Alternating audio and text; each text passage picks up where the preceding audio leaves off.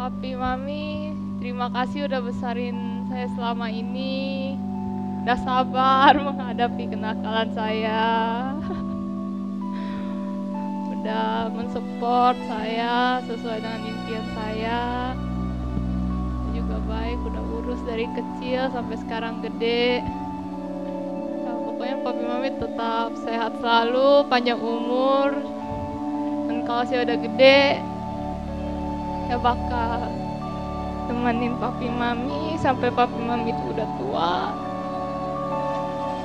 Kalau udah meninggal saya juga bakal tetap ngurusin. Pokoknya saya sayang papi mami lah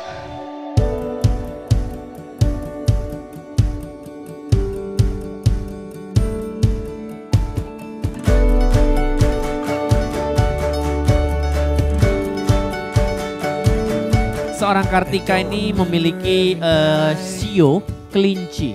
Oh, aku kira showbak ya. Waktu kecil kakinya itu bolong. Uh, biasa perempuan cantik punggungnya bolong. Kalau ini kakinya bolong. Dan langsung aja akan kita memanggilkan Sesosok perempuan yang baru saja kita bahas. iya ini Kita dia. lihat tadi ya, nanti kita lihat cek kakinya beneran bolong apa enggak. ya. beneran bolong apa enggak ya? Langsung Uh, saja kalau gitu kita panggilkan ini dia the one and only. This is Kartika Puspita Sar.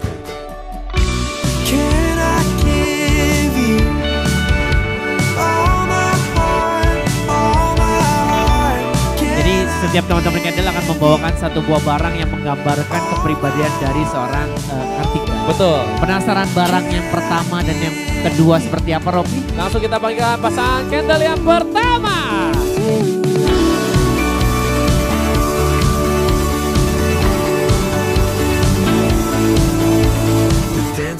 Piala ini tuh artinya Kartika itu selalu jadi juara. Mungkin dia nggak juara di dalam bidang akademis atau sebagainya. Oh kamu menghina. Tapi tapi dia juara di hati kita semua karena dia emang yang best of the bestnya lah. Kenapa Rosa membawa satu buah kaca? Eh, soalnya biar Kartika bisa melihat kecantikan dirinya. Asik. Ini teman-teman sudah kenyang semuanya ngomongnya baik-baik ya. Keren banget. Kenapa Banjara Mental? Eh, supaya makin mengerti maunya laki-laki. Uh. Kenapa kamu berdua bawa pisang? Ini dulunya kan pisang ini masih kecil gitu. Oh iya iya iya iya. Karena nggak mungkin dia tiba-tiba diciptakan Tuhan tiba-tiba gede. Nggak mungkin. Nggak mungkin. Pasti kecil dulu. Ya nggak mungkin.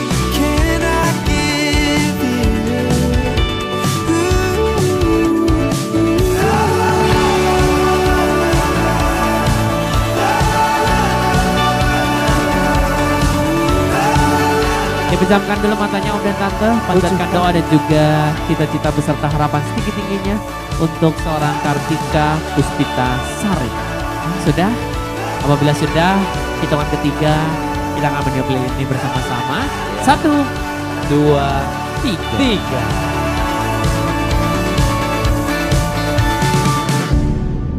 Hitungan ketiga kita akan tiup lilin ini bersama-sama menandakan genap sudah seorang Kartika di usianya ke-17. Satu, dua.